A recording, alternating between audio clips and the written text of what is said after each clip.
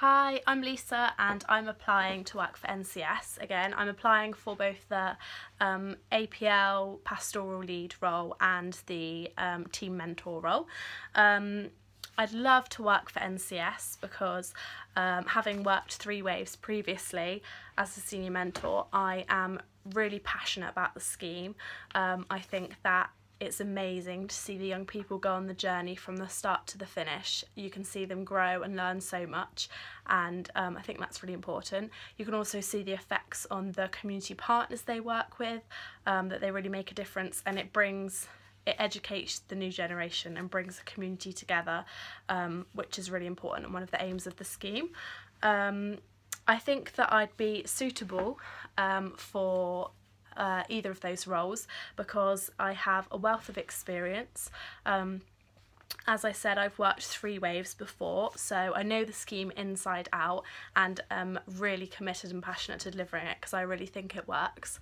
Um, so I'd be able to support other um, mentors with delivering it if they were perhaps new to the scheme or um, delivering it successfully myself. Um, I've also encountered, because of working three different waves, encountered um, a variety of young people with different um, needs, different behaviours, different personalities. Um, so I have a lot of experience in knowing how to motivate different um, young people, strategies to use to support them, perhaps if they're exhibiting challenging behaviour, how to engage them and get them back on the um, passionate about the scheme as well. Um,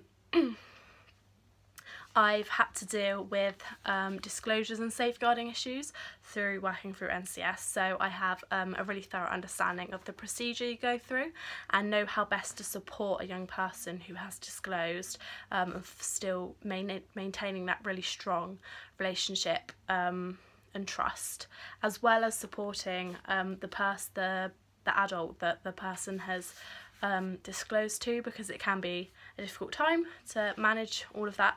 Um, so I think I'd be really good at supporting both the young people and the staff team with that particular issue. Um, I'm also training to be a teacher, just finished my training.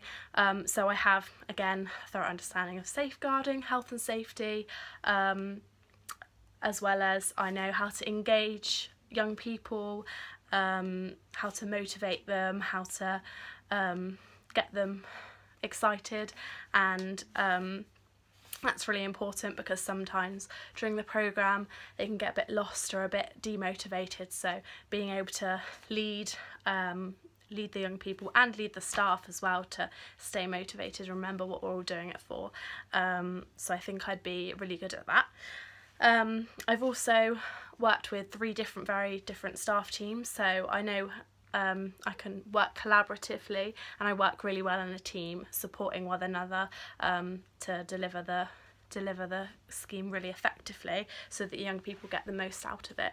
Um, and having been on the receiving end of the support from the APL and the PL, I think that I would be um, suitable for the APL role because I would have an understanding of what's needed, when support is needed, recognizing how to best to support your mentors because they are such a crucial part of the scheme, delivering the scheme, they're so important.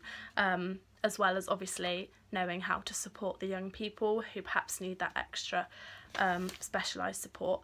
Um, so I believe that with my experience, my passion for the scheme and my positivity that I would be suitable for employing for another round of summer fun. Thank you. Bye.